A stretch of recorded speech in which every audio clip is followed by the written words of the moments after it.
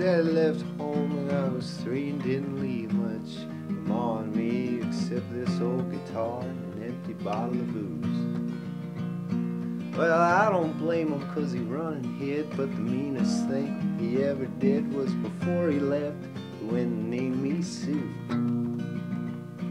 Well, he must have thought it was quite a joke, cause it got a lot of laughs from lots of folks, and I seemed to have to fight my whole life through.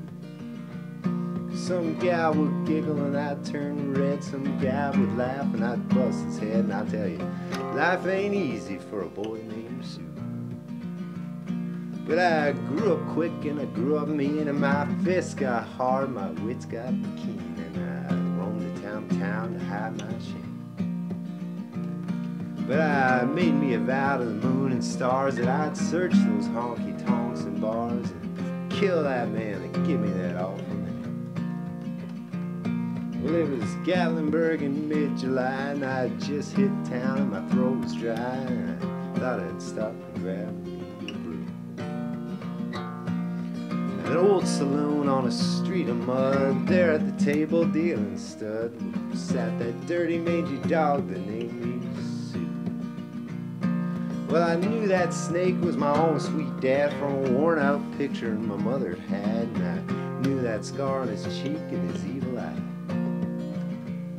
He was big and bent and gray and old, and I looked at him and my blood ran cold, and I said, My name is Sue. How do you do? Now you're gonna die. Yeah.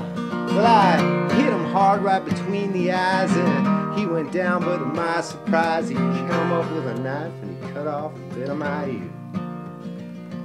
So I busted a chair right across his teeth and we crashed through the walls and into the street, kicking and a gouging in the mud and the blood and the beer.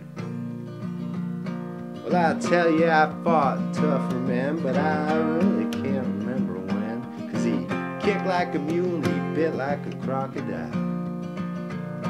Well, I heard him laugh and I heard him cuss and he went for his gun and I got my first and I saw him standing there and he smiled. He said, son, this world is rough and if a man's gonna make it, he's gotta be tough and I knew I wouldn't be there to help you along. So I gave you that name and I said goodbye and I knew you'd have to get tough or die. And it's that name that helped to make you strong. Yeah. Well, you said you just fought one hell of a fight, and I know you hate me and you got the right. Kill me now, and I wouldn't blame you if you do. Well, you ought to thank me before I die for the gravel in your guts and spit in your eye, cause I'm the son of a bitch that named you. Yeah, well, what could I do? Well, I got all choked up and threw down my gun and I called him my pa and he called him his son.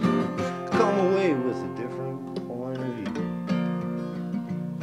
Yeah, I think about him every now and then, every time I try every time have a son, I think I'll name him Bill or George, any damn name but Sue. I still hate that name.